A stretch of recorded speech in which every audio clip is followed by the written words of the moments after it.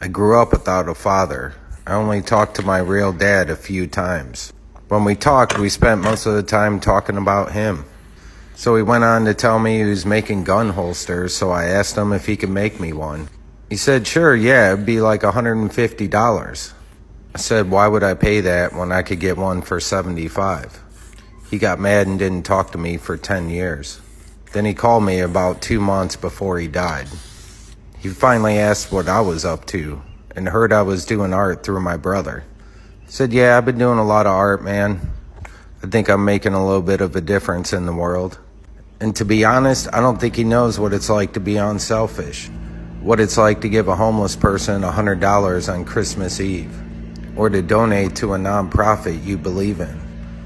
I don't think he knows what it's like to give and expect nothing back. So we talked a little bit longer, and I told him I felt bad that he was dying. I never really knew him, so I guess it didn't hit as hard as it should. What he couldn't understand with the gun holster was I wanted something I could have and say, yeah, my dad made this for me, and he gave it to me. And this is one thing that I will cherish forever. But I guess I didn't get that chance.